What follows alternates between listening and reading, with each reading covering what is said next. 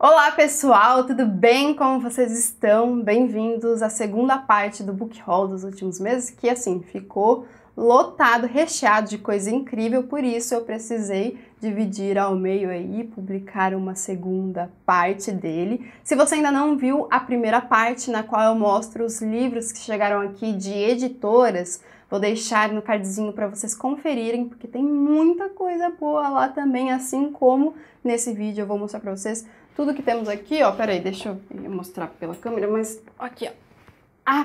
Uma pilhazinha, a outra pilha e temos mais coisa aqui no chão que não dá para levantar e mostrar agora para vocês, né? Dar um spoilerzinho. Mas eu vou mostrar todos os livros que eu comprei nos últimos meses, que dessa vez eu extrapolei. Eu acho que eu nunca tinha feito isso. E também os livros que eu ganhei, tá certo? Bora lá então, que temos muita coisa aí para vermos juntos de incrível. Mas antes, não se esqueça de se inscrever aqui no Literatura se ainda não for um inscrito regular, assim você apoia a continuidade do canal e recebe todo o conteúdo que sai né, frequentemente por aqui, toda semana para você. Não se esqueça também de aproveitar e dar o seu joinha, assim você me ajuda a entregar esse conteúdo para mais pessoas. Bom, vamos lá. Recentemente eu fui para São Paulo, né? Fui aí para casa da minha mãe, revê-la depois de mais de um ano, e eu fui com ela para a capital e lá eu conheci duas editoras maravilhosas eu fiz vlog para isso, mostrei, levei vocês comigo nesses lugares incríveis. Se vocês ainda não viram esse vlog, vou deixar também aqui no cardzinho para vocês. Tá imperdível, tá bem? E lá eu comprei em cada uma delas que eu fui, eu comprei um livro ao menos, porque eu tô nessa pegada recentemente, né? Quando eu vou em sebo, eu compro pelo menos um livro, quando eu vou em livraria, eu vou, compro pelo menos um livro quando eu posso, e se eu posso, eu realmente faço isso. Eu conheci a Gato Sem Rabo, olha só eu lá não pude, opa, não pude deixar de comprar a eco bag deles, que tá lindíssima, e eu fiquei assim com uma raivinha porque, tipo, uma ou duas semanas depois eles lançaram uma nova cor de eco bag que tem muito mais a ver comigo, porque as cores são mais básicas, assim, eu adoro cores, cores básicas, essa aqui é mais chamativa, apesar de eu gostar bastante, de eu ter achado linda, eu achei aquela lá, assim, maravilhosa e eu queria muito ter uma, mas tudo bem, essa aqui já tá maravilhosa. E lá eu comprei, além da eco bag, também esse livrinho aqui, esse caderno, livrinho, esse caderno, que é de lá mesmo, tem até o símbolo da livraria. E o que eu trouxe para casa foi o A Pediatra, da Andrea Del Fuego, Literatura nacional contemporânea que trata muito sobre a medicina, sobre a ginecologia, sobre o nascimento, sobre né, a questão da cesárea. E é um livro assim que dizem que é de tirar o fôlego, dar um soco no estômago e que mexe bastante com a gente. Então, não vejo a hora de ler, assim que eu o fizer, terá resenha aqui no canal, tá bem? Agora, eu conheci a livraria Megafauna também e lá eu comprei o Panorama, do Finnegan's Wake, que é o último, foi o livro, o último livro publicado pelo James Joyce, e aqui nós temos fragmentos traduzidos e também textos de apoio sobre o livro, então, esse livro tão medonho aí, tão temido do James Joyce, tá bem? Mais um livro aqui do James Joyce para minha coleção. Eu, pesquisadora de James Joyce que sou agora, né, tenho que me abastecer deles.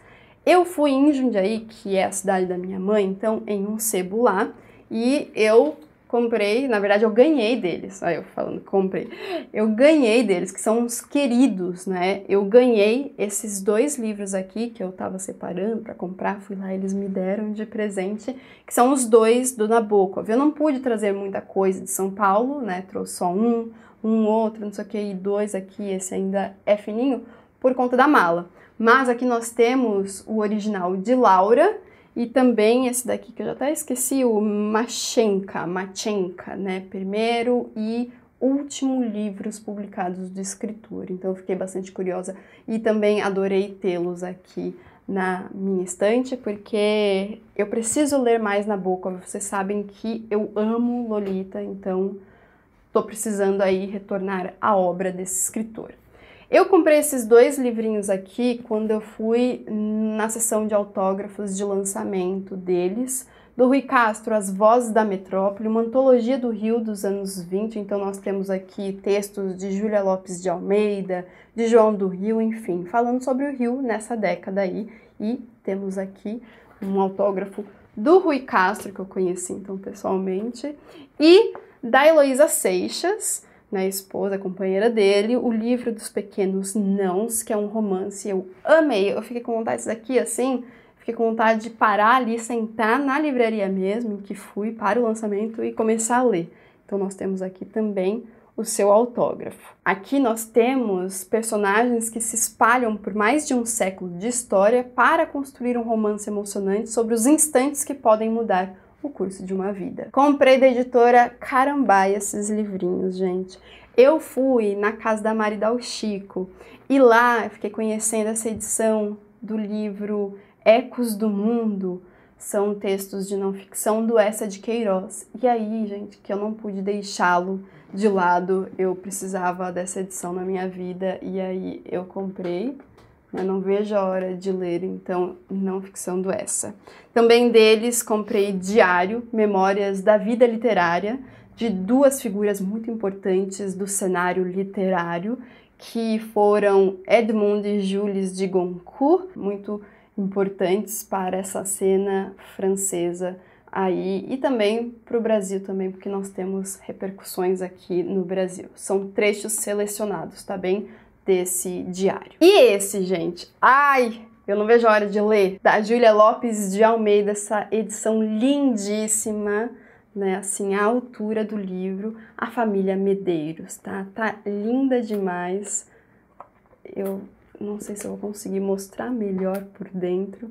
Aqui o marcador folhas amareladas, como a gente ama, e capa dura com um verniz localizado assim, que deixa a capa com uma textura bem interessante. Ainda nos livros que eu comprei, mais James Joyce para minha vida, Exilados é a peça, né, dele, que ele é a única que ele escreveu e que eu já li e eu amei. Eu não pensei que eu fosse gostar assim dessa peça, porque eu não sou muito de peças, tá?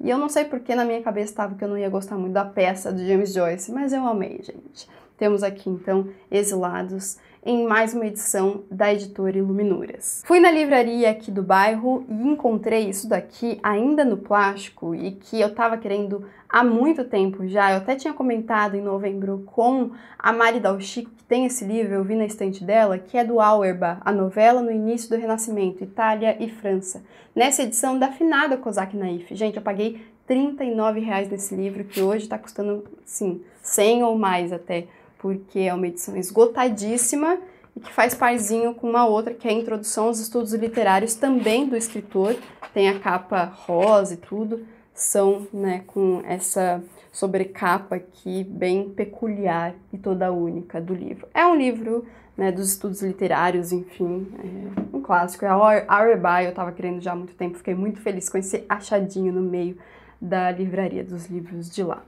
Eu comprei esse daqui foi pela internet mesmo, da George Eliot, O Véu Erguido, porque eu estou para começar Middlemarch a leitura desse grande clássico, inclusive clássico muito elogiado por Virginia Woolf, e eu queria ler essa novela aqui da George Eliot antes, vai ser lido com certeza. Ai, eu tava muito ansiosa por esse lançamento. Acho que eu nunca fiquei tão ansiosa por um lançamento depois dos livros da Virginia Woolf como eu fiquei por esse, que é Entregas Expressas da Kiki, Eiko Kadono e Daniel Kondo, tradução do japonês, edição aqui da editora Estação Liberdade.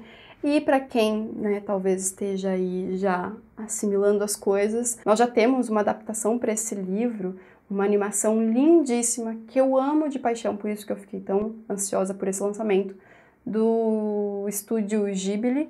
E é assim, esse livro é lindo, gente.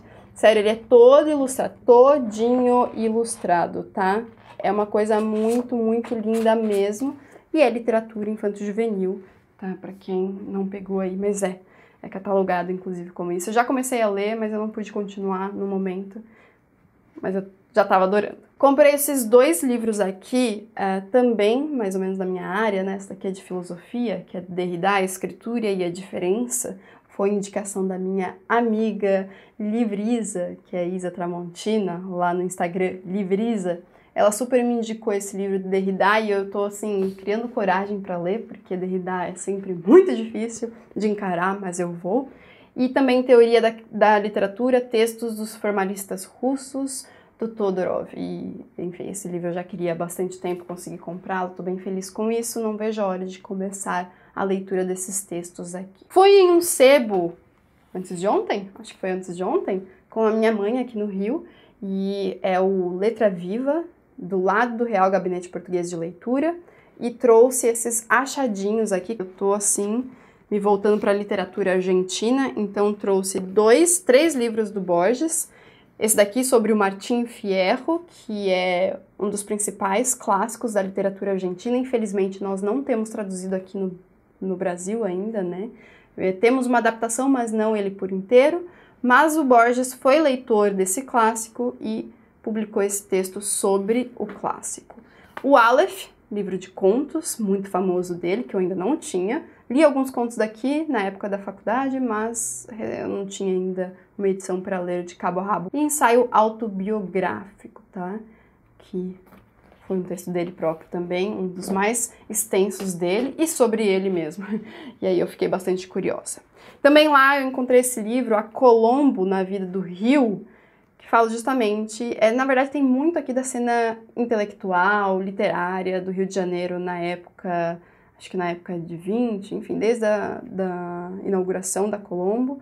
Então eu fiquei bastante interessado porque eu quero muito saber mais sobre essa cena central aqui do Rio de Janeiro. Eu gosto muito desse tipo de livro e tá aqui esse livro todo lindinho aqui, especial mesmo. E aí, né, pesquisadora joyceana, eu encontrei essa edição que é a primeira impressão da tradução da Bernardina da Silveira Pinheiro, que foi a segunda tradutora de Ulisses aqui no Brasil, então nós temos a edição de Ulisses por ela, com essa sobrecapa aqui, ó, tipo em papel manteiga, sabe, transparente. E esse livro estava muito difícil de encontrar, a gente já não encontra mais para comprar, né, um novo. E eu fiquei muito feliz de encontrar, paguei tipo 32 reais com descontinho. E também Irlanda Sangrenta, né, pra saber um pouquinho da história, um pouquinho, com, na verdade com mais pormenores, né, a história da Irlanda, já que agora eu estudo Joyce. Enfim, esses foram os livros do sebo. E agora eu vou mostrar esses livros que eu apoiei no Catarse, tá bem? Esse daqui foi da editora Pinar, o aniversário de Juan Ángel Mário Benedetti. É literatura uruguaiana. Não sei muito bem sobre o que trata esse livro, mas tudo que a editora Pinar publica eu apoio. Então chegou aqui a edição deles, Olha só que linda essa folha de guarda. Se você já leu esse livro, comenta aí para mim, porque eu tô doida para saber de alguém que já tenha lido esse livro, o que achou dele, tá? Ah, literatura infanto-juvenil, vocês sabem que é o meu fraco. Eu apoiei é, essa publicação da editora Kaikai. Eu sou Rua Mulan.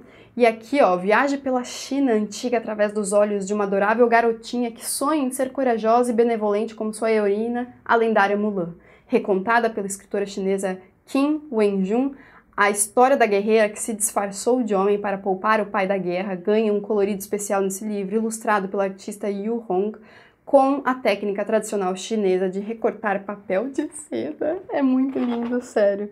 Tá a coisa mais especial. É difícil mostrar assim, né?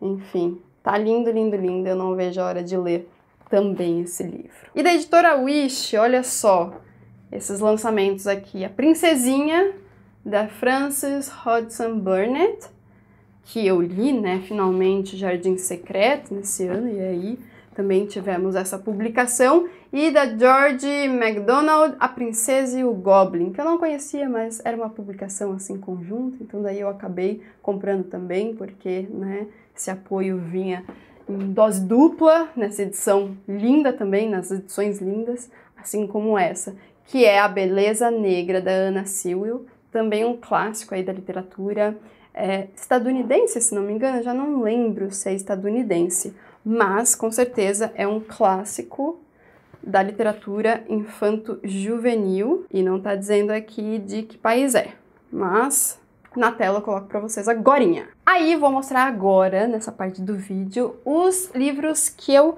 ganhei, gente.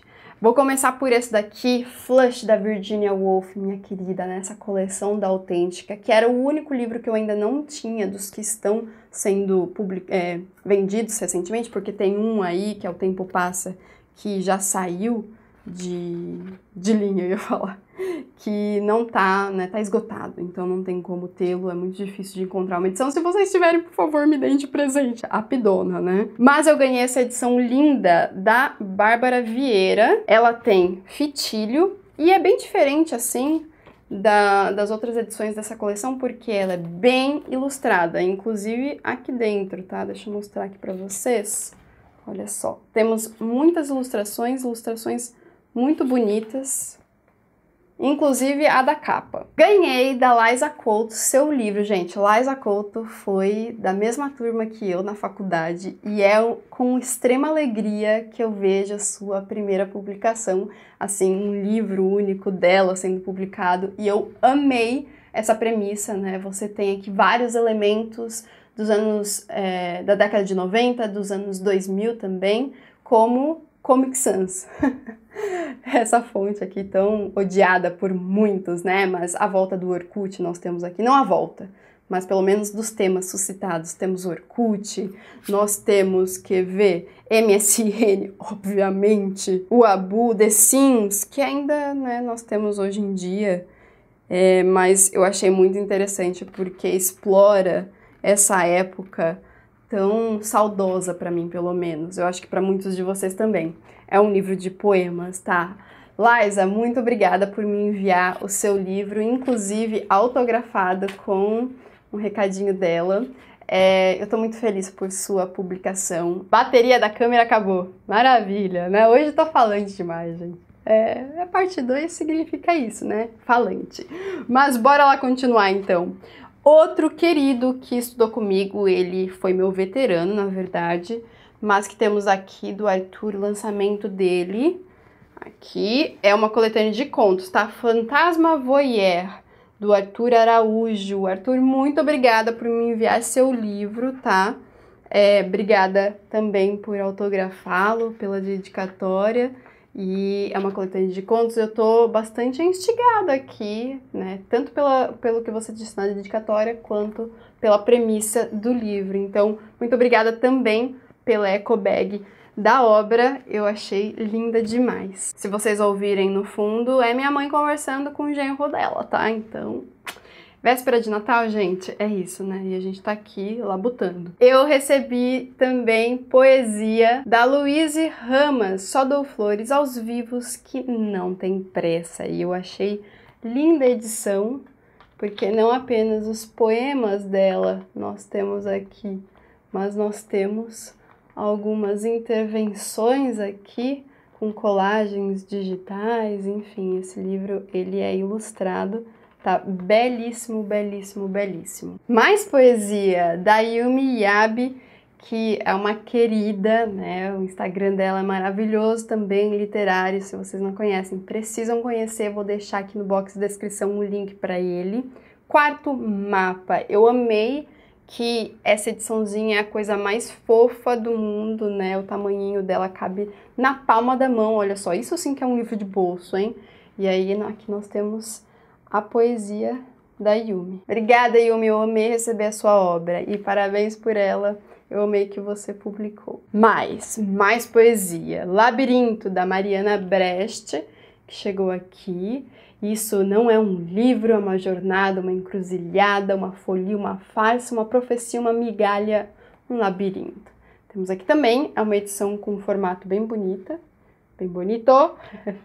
Aqui a edição em si também toda caprichada, tá?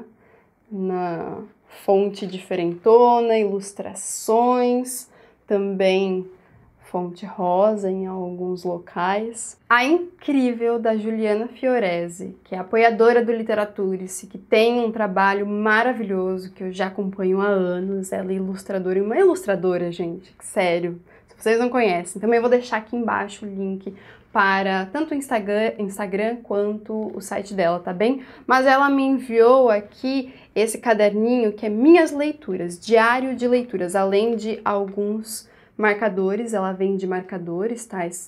Vocês vão amar os marcadores dela, porque são literários também. Tem esse penduricalho que eu esqueci o nome, Tecel, Tacel, Tacel. e esse diário de leitura tem essa diagramação, olha só, tá vendo?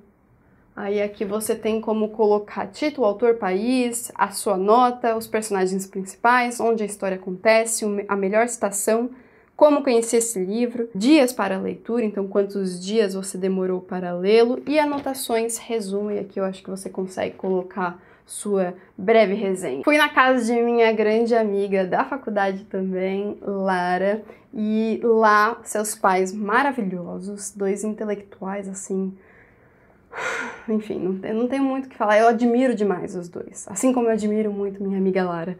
E cada um deles, então, me deu uh, o último livro publicado por eles, ou que teve um texto deles aqui, Fantina, Cenas da Escravidão, um romance bastante importante aí da nossa literatura. E aqui nós temos não apenas o texto da orelha, mas também um texto próprio aqui para discorrer sobre o livro, nessa edição muito bonita da editora Chão. Recentemente eu tenho visto alguns lançamentos, alguns livros aí bastante interessantes da Chão, tá bem? E então do Sidney Chalub, que é um grande historiador, muitos de vocês devem até conhecer, e ele me deu então autografado. Né? Ele falou assim, mas o livro não é meu, eu só tenho texto aí. Mas ele então autografou um presente de Badaró direto da Lei Mundo, porque então é do Duarte. Badaró. E aqui eu achei interessante que, olha só, Fantina também fornece muitos elementos para se refletir a respeito do grande drama da história oitocentista no Brasil e Alhures. O romance mostra que no centro do processo histórico de crise e abolição da escravidão estavam os sofrimentos e as lutas das mulheres escravizadas, sujeitas à violência sexual dos senhores, e mães sempre a temer a separação for forçada dos filhos.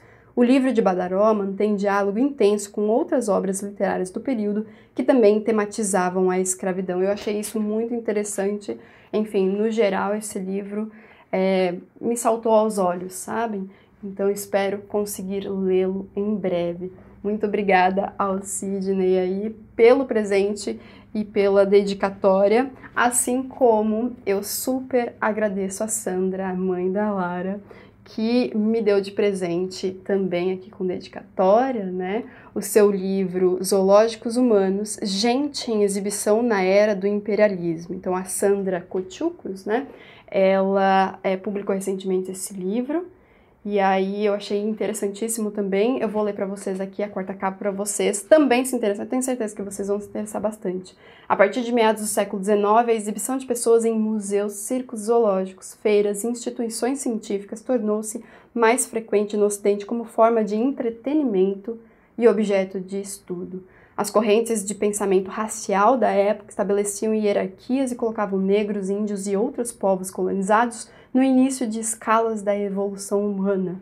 Exibidos ao vivo por meses a fio junto a elementos de sua cultura material, os diversos grupos eram apresentados como primitivos para contrastar com as nações mais ricas. Tais exposições ajudavam a dar crédito à noção de inferioridade racial e ensinavam ao público que o racismo era científico, terminando por incutir novos sentimentos de superioridade no branco e ocidental, justificando e desculpando o crescente imperialismo. Então, cara, esse livro aqui, não é mesmo? Imagina o fôlego para escrevê-lo, sabem? Maravilhosa. Então, muito obrigada, Sandra. Muito obrigada, Sidney. Amei os presentes e estão aqui com todo o carinho do mundo com a dedicatória de vocês. Ah, gente, eu tava esquecendo antes. Eu tenho mais duas outras coisinhas também para mostrar para vocês, mas eu tava esquecendo de mostrar esses livros. Quase derrubei. o box, né? Quase os livros escaparam aqui por trás. Mas eu tava esquecendo de mostrar esses livros que foram os dois, na verdade, são quatro, né, na prática vocês vão entender. que eu comprei na, Black Friday, é na festa do livro da USP, né? Foram os únicos dois. Eu comprei Viagem ao Redor do Meu Quarto, do Xavier de Mestre, que é um grande clássico, inclusive muito lido, uma grande referência de Machado de Assis. Então nós temos aqui, ele é bem curto, pensei que fosse bem maior, mas não é. temos aqui. E também Duna. Eu comprei o primeiro box de Duna, peraí.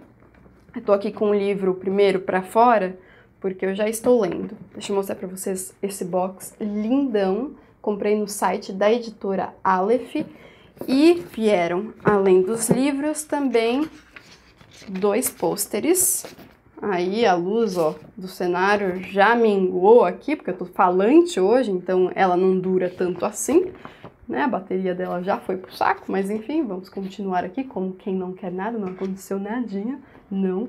É esse pôster e também esse daqui. Eu não sabia que os pôsteres viriam, mas vieram, nem esse daqui que eu nem sequer tinha visto na internet, mas eu achei eles muito bonitos, fiquei bem feliz que eles vieram, viu? E aí, as edições, né? Duna, Lindão, Grossão, volume 1, e aqui nós temos também Filhos de Duna e Messias de Duna. A única coisa que eu não gosto desse box, gente, a únicazinha é que é soft touch, né? Esse material parece emborrachado assim, então daí ele marca muito a mão. Minha mão sempre tá muito oleosa, né?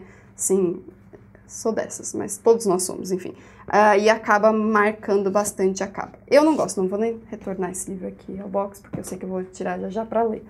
Então esses foram os livros, né, todos que eu comprei e que eu ganhei, mas também eu deixei para mostrar aqui para vocês duas coisas que eu recebi, dois kits. Peraí, olha só, veio nessa Eco Bag da Eisenbach, é assim que fala? Esse livro que eles publicaram e que eu já tava de olho nele porque eu acompanho Dona Ritinha, né? Rita Von Hunt, maravilhosa. E aqui nós temos a participação dela, ou do Guilherme, né, Terreri, Aqui, ó. Tcharam! E esse livro, gente, lindão e grandão, olha só. Os rituais, histórias receitas de quem aproveita a vida em cada detalhe, com várias pessoinhas aqui. Lued Luna, Luiz Antônio Simas, ah, o Weber vai adorar. Paola Carosella, maravilhosa também. Rodrigo Hilbert, enfim, várias pessoas aqui incríveis. E aí eu adorei receber, adorei ser notado, inclusive, Heisenberg. E, por fim, mas não menos importante, eu fui notada pelo Rio de Janeiro, aquelas. Trem da Leitura. Essa é uma iniciativa muito interessante da Supervia, Trens Urbanos, que é a concessionária que opera os trens no estado do Rio de Janeiro. Então, eles fizeram essa campanha de Dia Nacional do Livro, mas chegou bem atrasado, viu, gente? Então, não dá para repassar para vocês, né, porque teve data aqui, teve prazo, mas através da iniciativa deles, de muitas parcerias, desde 2015 eles distribuem livros nas estações de regiões com menor IDH ao longo da nossa malha ferroviária e também nos assentos dos primeiros trens que partem de cada ramal que atendem. Até hoje, eles já distribuíram mais de 5 mil livros, disponibilizaram mais de 12 mil downloads gratuitos de livros digitais e chegaram a milhares de pessoas, estimulando assim o hábito da leitura. E eu adorei que né, eles fizeram também essa ação. Infelizmente não chegou a tempo, mas chegou aqui esse livro, ó, que é o Tarzan, o Rei da Selva. Achei linda, linda, linda essa edição. Eles também enviaram é, fone de ouvido Aqui um caderninho e caneta. Adorei, muito obrigada aí ao pessoal que enviou, porque eu achei demais essa iniciativa. Eu não conhecia então continue fazendo isso, por favor, porque eu achei demais, sim, o trabalho de vocês. E era isso, pessoal. Bastante coisa aqui acumulada, né, nesses últimos meses, mas final de ano é sempre muito recheado de coisa boa e eu fico feliz de compartilhá-la com vocês. Espero que tenham gostado dos vídeos. Vamos ficando por aqui. Um grande beijo super especial aos apoiadores do Literatura e aos madrinhos, né, que apoiam o meu trabalho e o canal lá pelo Catarse. Se você ainda não conhece o Catarse do Literatura, o link está aqui no box de descrição. Muito obrigada aos madrinhos, então vamos ficando por aqui. Beijão e até o próximo vídeo. Tchau, tchau!